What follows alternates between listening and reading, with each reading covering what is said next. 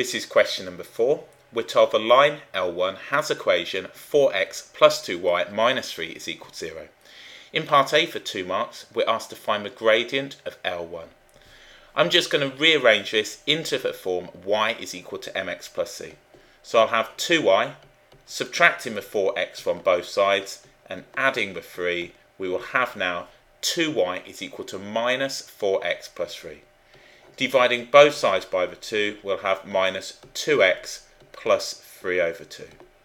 We can see from this the value of m is going to be equal to minus 2.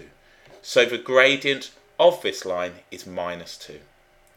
We're now told the line L2 is perpendicular to L1 and passes through the point 2, comma 5. In part B for 3 marks, we need to find the equation of L2 in the form y is equal to mx plus c where m and c are constants. We can write down that m1 multiplied by m2 will be equal to minus 1 if perpendicular. We can see that m1, the gradient of L1, is minus 2. So m1 is equal to minus 2.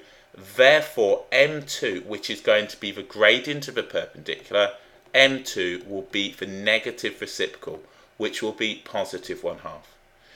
For the equation of a straight line, all we need is a gradient and a point that it goes through. I'm going to use y minus y1 is equal to m multiplied by x minus x1. So subbing this in, we will have y minus 5 is equal to 1 half, then we'll have x minus 2.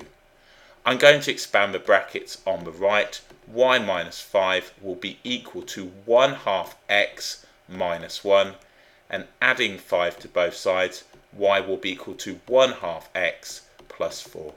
So the final answer in the form y is equal to mx plus c is y is equal to 1 half x plus 4.